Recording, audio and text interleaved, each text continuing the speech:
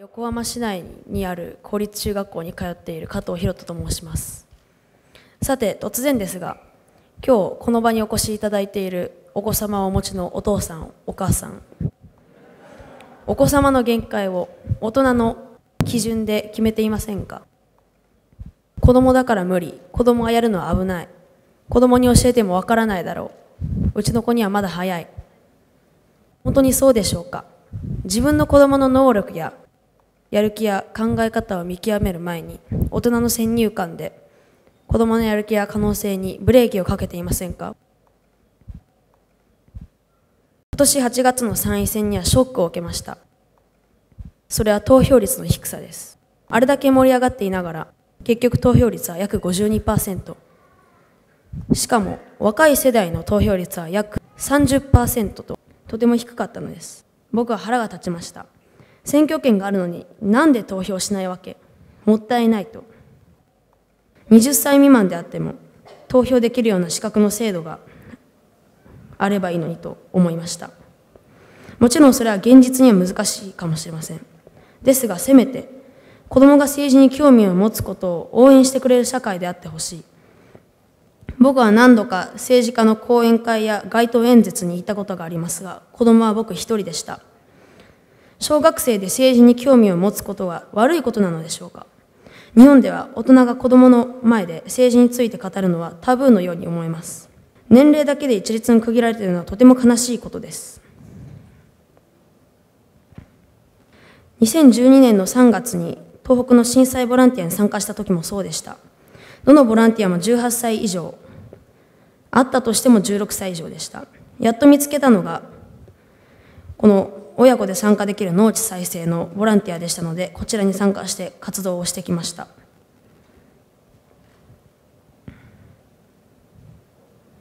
検定の話をします。僕は4歳の時からいろいろな検定を受けてきました。最初のきっかけは母の一言でした。英語を始めてまだ3ヶ月ぐらいの時。これ面白そうだよヒロ。あんたこんなの好きでしょ？と言われました。その時パソコンの画面を見せてくれてそれが自動英検でした。サンプル問題をやってみたらすごい楽しかったので実際の試験を受けてみることにしました。どんどん次を受けたいという僕に母はブレーキを全くかけませんでした。こうして英検は5級受験5級受験からちょうど1年。5歳の終わりに2級に合格しました。でも後になって僕のお母さんが教えてくれましたが小さい子に合格不合格のあるテストを受けさせるなんてなんてかわいそう。親のエゴで受けさせてるんだろう。ひどい親だな。と言われたそうです。僕自身が受けたい。合格できるように頑張りたい。という気持ちで受けてきたのに。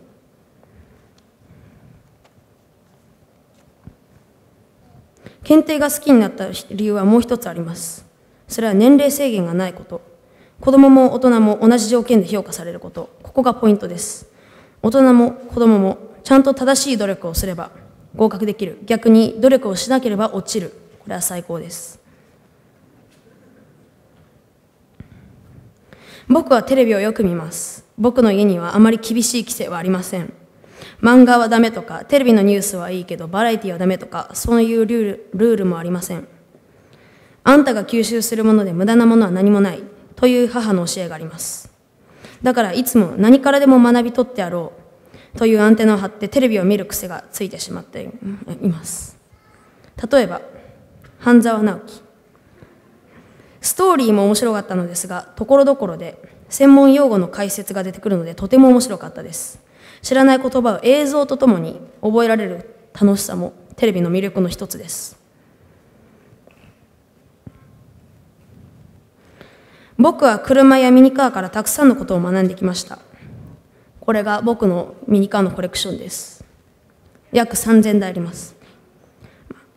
それぞれの国の車の特徴国民性と好まれる車の関係ハイブリッド車の仕組み電気自動車の仕組みなぜ日本車は海外で評価が高いのかなどなど。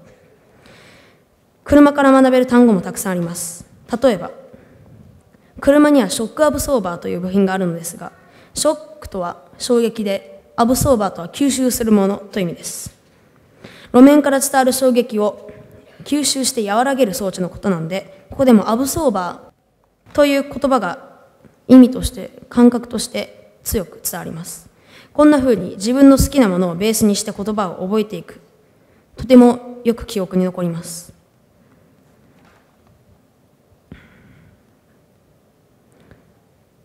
僕は3歳になってからすぐおばあちゃんの車椅子を押してきました。